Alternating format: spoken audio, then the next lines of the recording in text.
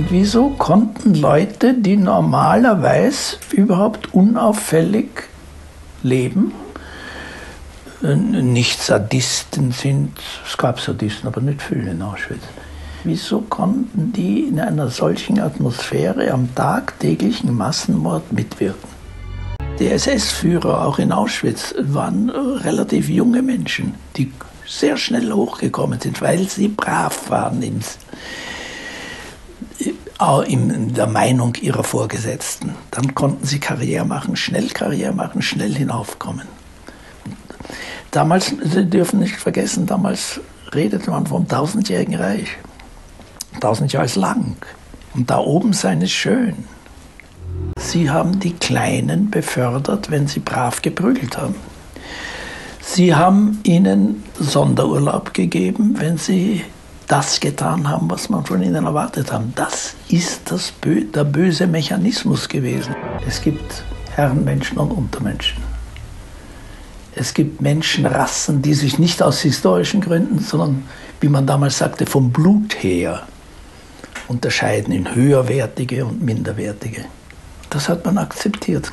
Diese Ideologie vergiftet Menschen, korrumpiert Menschen. Du bist ein Herrenmensch, schön.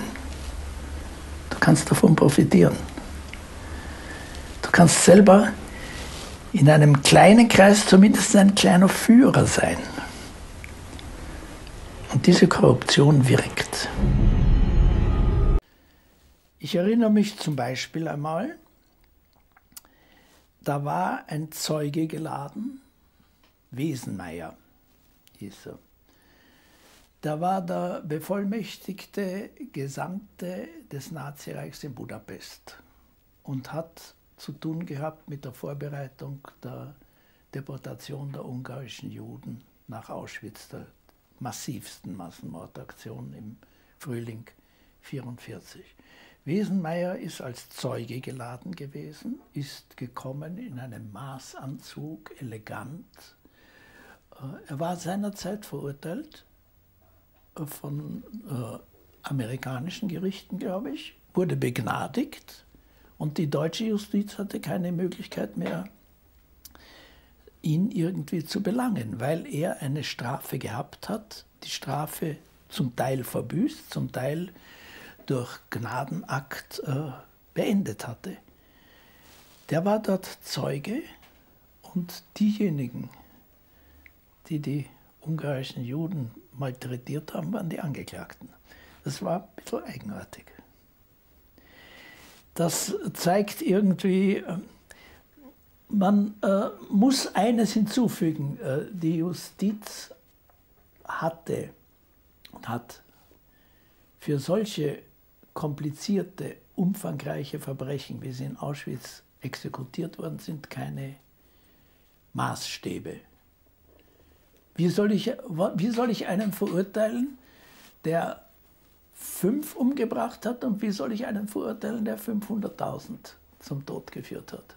Und wie ist das? Soll ich ihm äh, 100.000 Mal eine Strafe geben? Geht nicht. Also hier fehlen die Maßstäbe. Und das muss man der Justiz zugute halten. Äh, allerdings gab es manches Groteske auch. Es gab äh, Leute, die, äh, ich kannte Zeugen auch, die als Zeugen kamen, die sich beschwert haben dass sie von der Presse schlecht behandelt wurde. Das gab es, ich weiß jetzt nicht, wie er heißt. Der war in der Zeit, wo er Zeuge war in Frankfurt, war er schon ein hoher Funktionär der, bei euch heißt das Bundesbahn. Früher hieß es Reichsbahn, wenn ich mich richtig erinnere. Der war äh, Bahnhofsvorstand in Auschwitz in der Zeit, wo Auschwitz ein Vernichtungslager war. Und der wurde als Zeuge äh, geladen und es wurde gefragt, wie war das? Also wie sind die Züge angekommen, wie sind die weggekommen, wie sind die Leeren äh, abgeführt worden und wie sind sie gereinigt worden. Und er hat das sehr ordentlich ausgesagt und wurde in der Zeitung dann am nächsten Tag mit einer Balkenüberschrift wurde es publik gemacht, der Fahrdienstleiter des Todes. Und der hat sich dann, er hat am nächsten Tag wieder ausgesagt, hat sich beschwert darüber. ihm ist gar nicht zum, bis, bis zum Prozess nicht zum Bewusstsein gekommen, was er getan hat. Er hat nur ordentlich dafür gesorgt, dass die Waggons ankommen, gereinigt werden und wegfahren. Was er mit dem Vernichtungsapparat zu tun hat, ist ihm nicht zum Bewusstsein gekommen. Das ist etwas, also was äh, ans Groteske grenzen kann. Das ist ja dieser, das ist ja überhaupt ein genereller Hauptaspekt. Schuldbewusstsein in dieser ganzen Frage. Haben Sie es jemals erlebt, dass einer dieser vielen Täter, mit denen Sie ja in welcher Weise auch immer, den Auschwitz, aber auch danach ja noch konfrontiert waren, in irgendeiner Weise mal gesagt hat, oh Gott, war das ein grausames Verbrechen, was wir gemacht haben, es tut mir leid? Also grausames Verbrechen, das habe ich nicht gehört. Aber ich habe schon bei Einzelnen gesehen, dass sie äh, beobachtet, dass sie also mit, mit äh, sich überwinden mussten, um dieses oder jenes zu machen. Das habe ich schon gesehen, bei Einzelnen. Äh, Schuldgefühl nachträglich kann man vielleicht bei denen äh, konstatieren, die Selbstmord begangen haben. Es gab einige, die Selbstmord begangen haben, nachdem Deutschland befreit war. Kann Schuldgefühl sein, kann Angst vor der Strafe sein, das kann man schwer beurteilen. Äh, ich kannte im Frankfurter Auschwitz-Prozess SS-Leute, die dort angeklagt waren, die als junge Burschen in Auschwitz waren und die ein Argument gebraucht haben, das gar nicht so leicht vom Tisch gefegt werden kann. Einer hat einmal gesagt, was wirft man mir vor, dass ich Befehle durchgeführt habe des Führers. Ich habe die Befehle in Auschwitz bekommen und das waren Befehle zum Töten. Sie, und er sagte es zu den Richtern, die ja auch schon erwachsen waren in der Nazizeit, haben andere Befehle bekommen, haben sie auch durchgeführt. Nur haben sie das Glück gehabt, dass sie nicht Befehle bekommen haben, Massenmorde durchzuführen. Das ist nicht so leicht, äh, jetzt wegzuwischen und zu sagen, das stimmt nicht. Ich kannte, ich kannte Leute, SS-Leute, die durch Zufall nach Auschwitz gekommen sind. Eine, einen kannte ich, Neubert, ein, ein SS-Mann, der ist nach Auschwitz gekommen, weil er einen Zug versäumt hat. Er hat Urlaub gehabt und ist nicht rechtzeitig zu seiner Einheit, die damals in Krakau war, gekommen, weil er den Zug versäumt hat, den Urlaub übertreten hat oder weiß ich was. Kam nach Krakau, seine Einheit war schon an der Ostfront er ist gegangen zum äh, Stadtkommandanten oder wie das geheißen hat und der hat gesagt, SS-Mann, nächste Einheit ist in Auschwitz. Und der ist nach Auschwitz gekommen und wurde schuldig. Und wie viele sind nicht nach Auschwitz gekommen? Wie hätten sie sich benommen, wenn sie den Zug versäumt hätten und nach Auschwitz gekommen wären? Das soll man auch sehen, damit man sich nicht zu einfach macht. Das die böse SS in einem fernen Winkel in Polen, was die gemacht haben, und dann ist eine große Wand und da gibt es Leute, die gar nichts zu tun haben damit und nie etwas zu tun gehabt hätten damit. So einfach ist es nicht.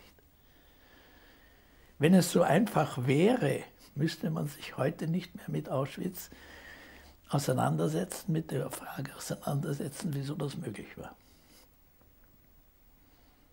Könnten Sie mal so eine Art ja, so Kategorisierung von Tätertypen vornehmen, wie sie damals in Auschwitz, sagen wir mal so, gang und gäbe waren. Was, Sie haben sich ja da sicher Ihr Urteil gebildet oder Ihre Erfahrungen gesammelt. Was waren das für einzelne Typen? Also ich hatte am meisten zu tun und hatte am meisten Beobachtungsmöglichkeit bei SS-Ärzten, weil ich eben bei, äh, beim SS-Standardarzt Häftlingsschreiber war. Ich kannte die SS-Ärzte nahezu alle die zu der Zeit dort waren, mehr oder weniger gut. Und da gab es, also wenn man Typen einteilt, jede Typeneinteilung hat, ist problematisch. Aber es gab solche, die, wir nannten es äh, bei uns in unserem Jargon Fleißaufgaben machten. Mehr machten, als man von ihnen verlangte. Es gab solche, und wir haben, gab einige, äh, die haben wir beobachtet, wenn sie zum Beispiel zur Selektion eingeteilt waren, da gab es einen Turnusdienst, Selektion hieß Aussuchen derer, die man für die Gaskammern braucht. Da gab es solche, die sich besoffen haben. Und es gab Einzelne,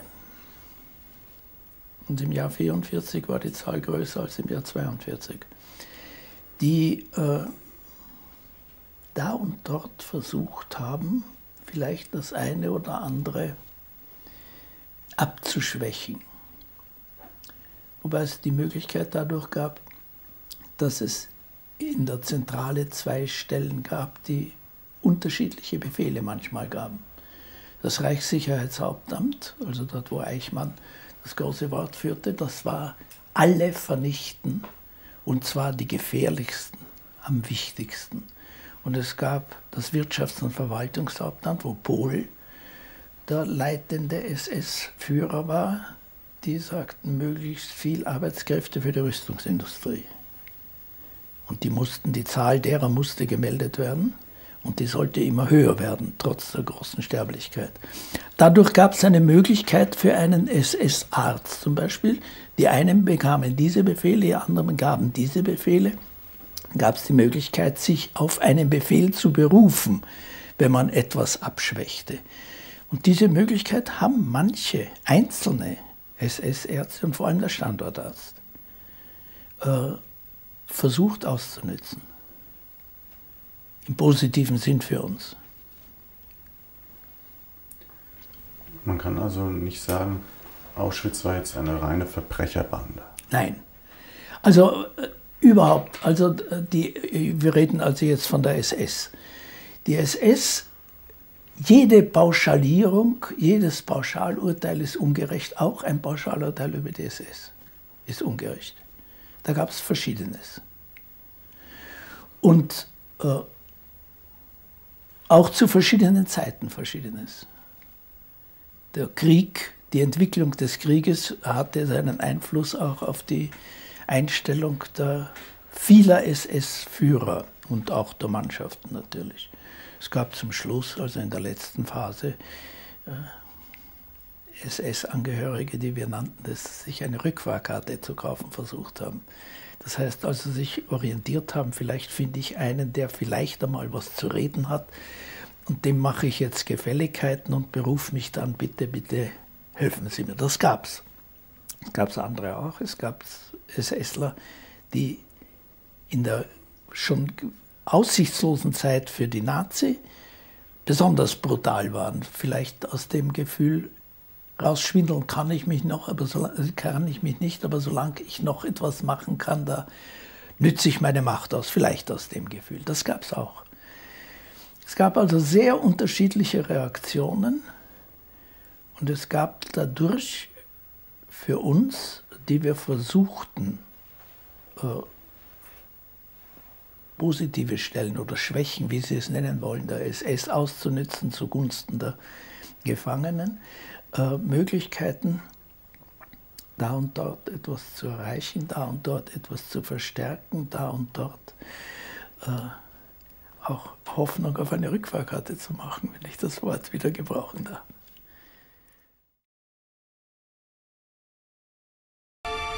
Führerbefehl, wir folgen dir, kann nach Auschwitz führen. Führerbewusstsein darf man nicht akzeptieren unter, blinde Unterordnung unter Führer darf man nicht als sein Tendenz sehen. Der Mensch muss Verantwortung tragen für das, was er macht.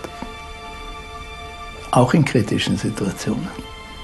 Das ist etwas, was auch für heute gilt.